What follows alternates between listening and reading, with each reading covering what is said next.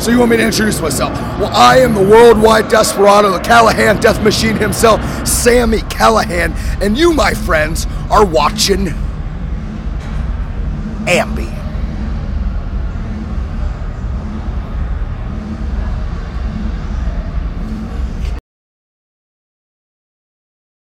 Hey everyone, it's Alicia from AMBY, and I would like to welcome you to Wait, wait, who is it?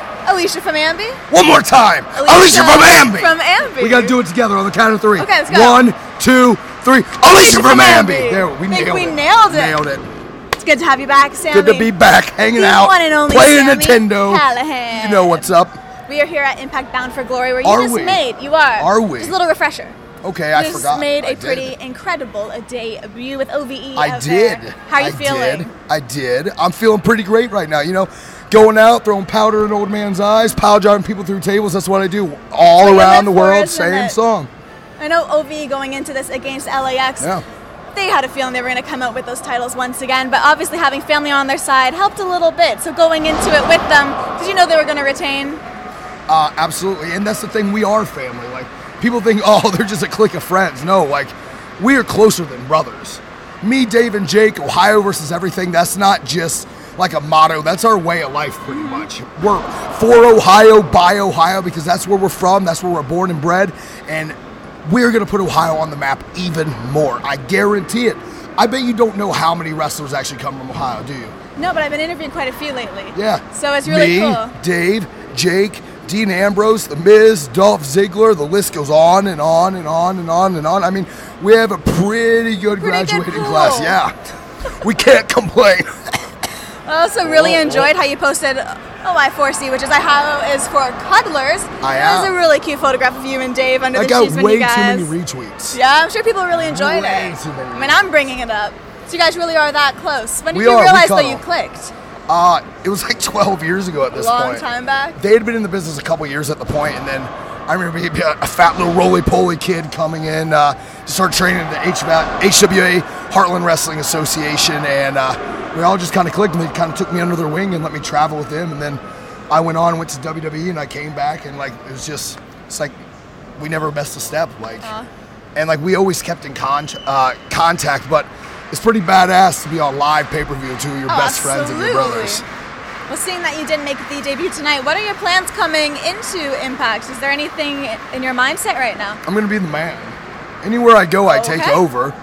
I mean, look, really, look at me. I'm being 100% serious, Alicia. Oh, I believe you. Do you believe me? Look I me in the I'm looking eyes. you right in the eyes. I believe She's you. looking me in the eyes and she believes me. Anywhere I go, I become a top guy because that's what I am. I'm a top guy. It's that easy. Plain and simple.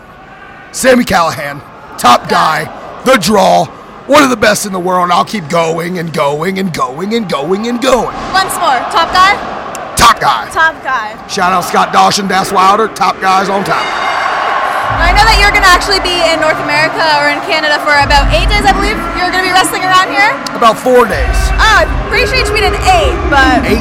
Eight four, overall. one, two, three. Eight days. Then I leave, go to Seattle. Then I go to Philly. Then I go from Philly to Boston. Then I go home for two days. Go somewhere else across the world. You never know where I'm going to show Never up. know. Well, you are the worldwide desperado overall, right? I am. You, You got the monitor. You remember. Seeing that is what you're going by now, where would you still love to wrestle that you have yet to take in your craft? Is there anywhere left? Mars. Pardon? Mars. Mars. I want to be the first wrestler to wrestle on Mars. I think that would be a pretty cool. Your wrestling is out of this world, right? It is. Oh, look at that. Pun intended.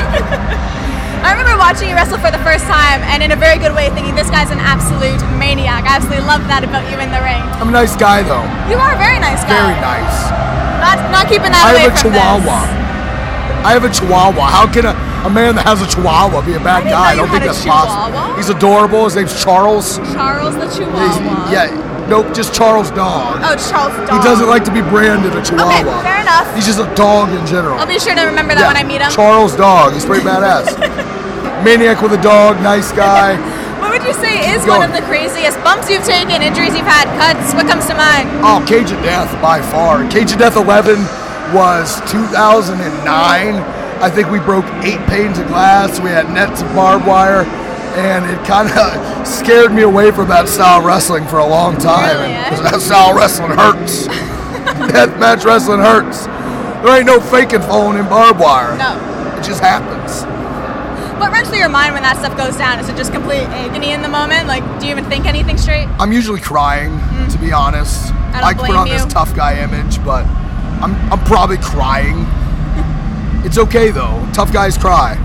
Tough guys that have a chihuahua cry. Well, not a big something else deal. kind of showing your softer side is one of your guilty pleasures is supermarket sweep. I love supermarket You sweep. do? I'm not even playing. I just heard they're bringing it back, and I had a, a little bit of a Like a new version of it? Yeah, a new Oh, version really? of supermarket sweep.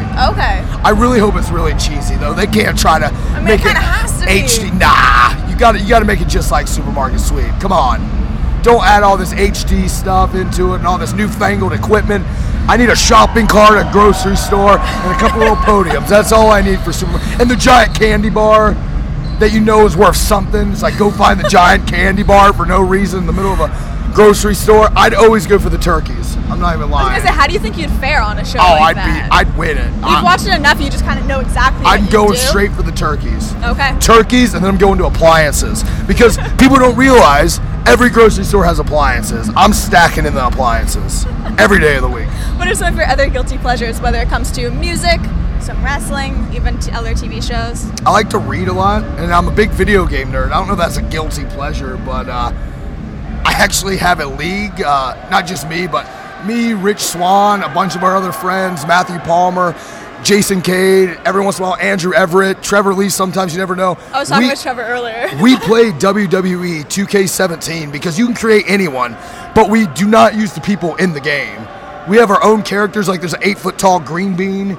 There's anything you could ever think of, but it gets real. I'm not even playing. Like Wednesday night, Wrestle House Wrestling is the place to be. I love that. What's your Big go-to ratings. console?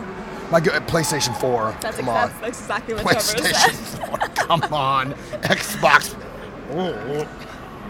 How about games that you've been enjoying as of late? Uh, I just started playing the new South Park game, Fractured Butthole, and Okay. it might be my favorite game ever. What it's just name. absolutely. Hey, it's a pun. Fractured, B U T hole. It's not just like the the butthole. It's like fractured butthole. You, it's a play on words. I got it. It's a play on words. We're going back to the puns. Yes. And uh, it's just my kind of humor. Like everything about that game, just little Easter eggs you'll find throughout it. It's open world of South Park. And uh, being a big South Park fan since I was little, uh, it's just an absolute pleasure to play. I, I love games like that. I love games that actually like, make me forget about my everyday life and I can just They kind of take you away. That's why video Yeah. games rock.